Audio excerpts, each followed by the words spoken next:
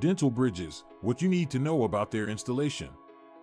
If you have missing teeth, you may be considering getting dental bridges to restore your smile and improve the functionality of your mouth. Dental bridges are a common dental treatment that can help fill in the gaps left by missing teeth.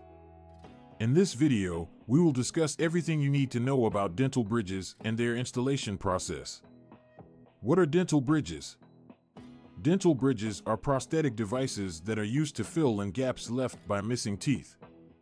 They consist of one or more artificial teeth, called pontics, that are anchored in place by dental crowns that are placed on the surrounding teeth.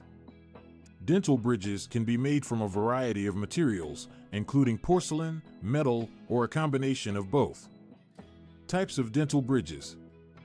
There are several different types of dental bridges that you can choose from, depending on your specific needs and the condition of your remaining teeth. The most common types of dental bridges include Traditional bridges. These are the most common type of dental bridges and consist of a pontic that is anchored in place by dental crowns that are placed on the adjacent teeth. Cantilever bridges. These bridges are used when there is only one adjacent tooth next to the gap. The pontic is anchored in place by a single dental crown. Maryland bridges, also known as resin bonded bridges, these bridges use a metal or porcelain framework to hold the pontic in place. They are less invasive than traditional bridges and are best suited for front teeth. Implant-supported bridges. These bridges are supported by dental implants that are surgically placed in the jawbone.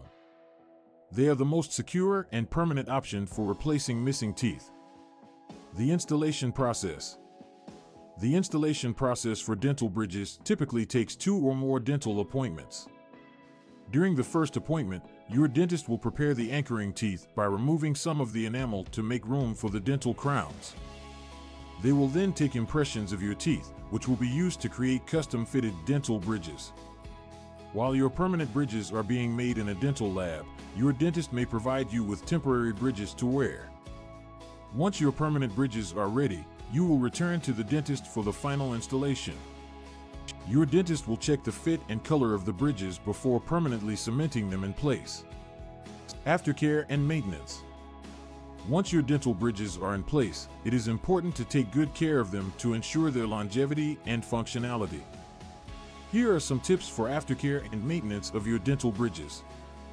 Practice good oral hygiene by brushing and flossing regularly to prevent plaque buildup around the dental bridges. Avoid eating sticky or hard foods that could damage the bridges.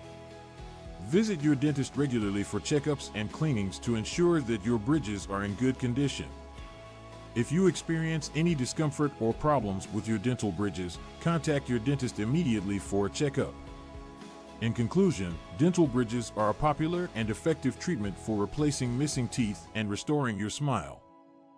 By understanding the different types of bridges available and the installation process, you can make an informed decision about whether dental bridges are right for you. Remember to follow your dentist's instructions for aftercare and maintenance to keep your bridges looking and functioning at their best.